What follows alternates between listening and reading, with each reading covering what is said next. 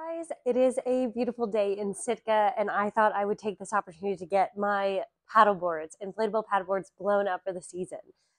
We are lucky to enough have access to water right down the street from our house. Um, it's part of our neighborhood. We all have access to a like public access line that goes straight down to the water into the ocean, and there's a really pretty little bay, and it kind of wraps around these little private islands and it's just really gorgeous. And I am going to get together with a friend and we're going to go for a little paddle today. But first, we need to get our equipment all ready to go for the season. So let's uh, get that going. Some SUP paddleboard essentials would be some waterproof cases for our phones so that you can take pictures and have a good time.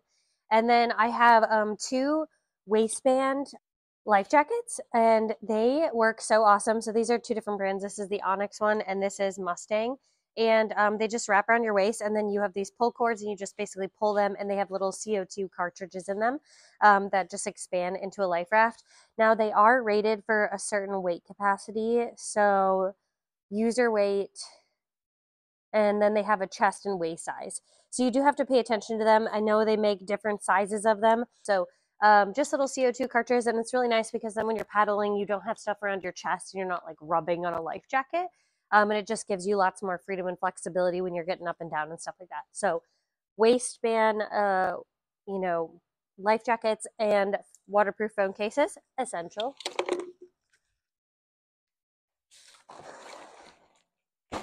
I have two different brands of SUPs. I've ordered both of them off of Amazon over the past couple years. They come with these backpacks that you can fit all of your supplies in, which is great. Got our paddles. They each come with a pump. Got your fin.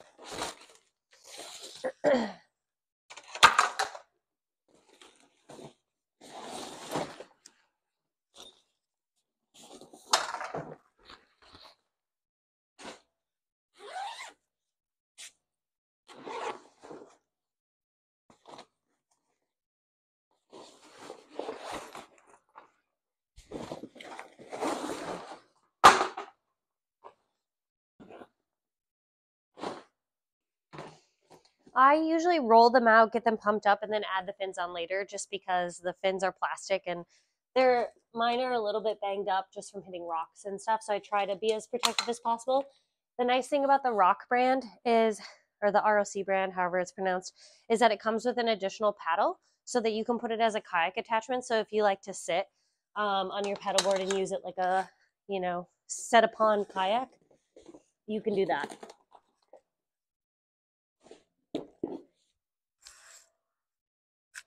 Now, if you're not familiar with SUPs or inflatable SUPs, they do come with a wristband um, and or a wrist or an ankle thing so that they're attached to you. And they also come with a patch kit, which is important to have on you. Um, they come in all different shapes and sizes and lengths. So just keep that in mind. Okay, now the worst part of an inflatable paddleboard is just pumping them up and they actually pump up like the bulk amount pretty fast. But the last little bit to get it up to the high PSI, so this one is a 15 PSI max. Once you get to 10 PSI, it is so hard to get it the rest of the way. You just have to keep working at it. So we're just going to go for it.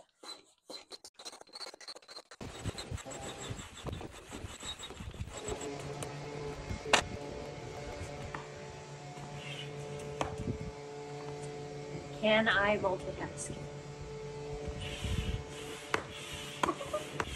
If this isn't the most impressive thing that you've said today, put a comment down below. And I'd like to know what beats it.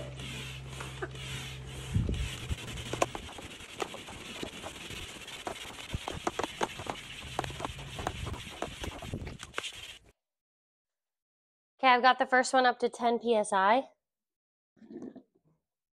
Feels solid.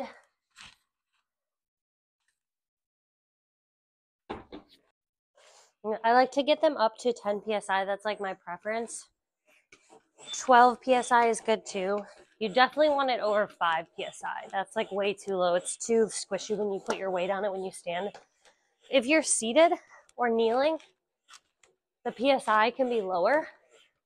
But if you're going to stand when you paddle, you definitely want to have it a little bit higher so it feels more like a sturdy board, like a true fiberglass paddleboard.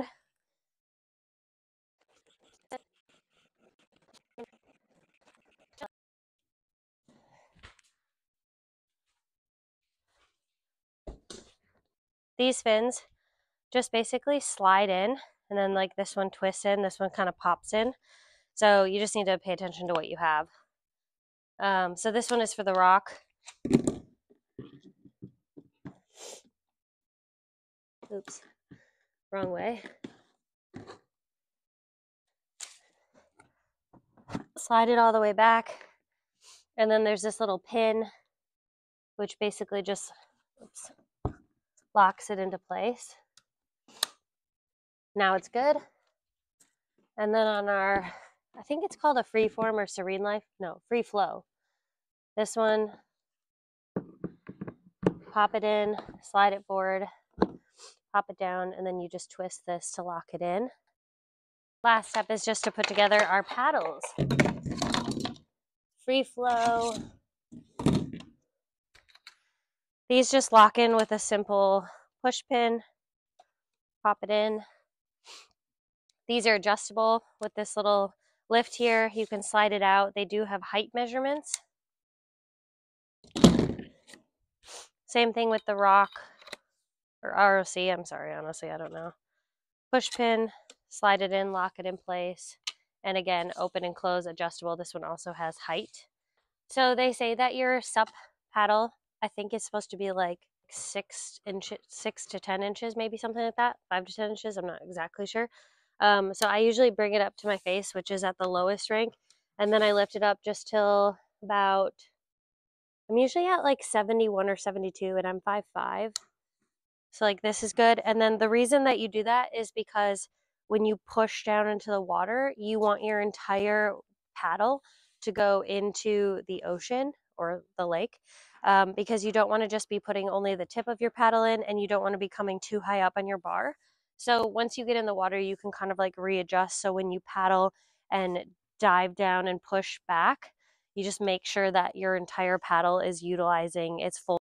Okay, so I'm gonna go set these aside on our little kayak rack and wait till my friend gets here and then let's go for a little cruise around the bay. First paddleboard of the season. Wave hi. oh, look at that.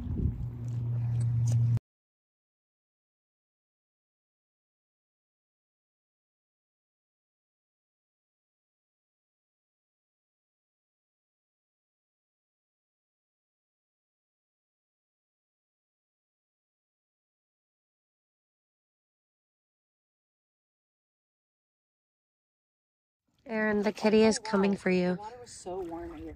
They always do. That you're like the cat whisperer. kitty, do you want to go on the paddleboard?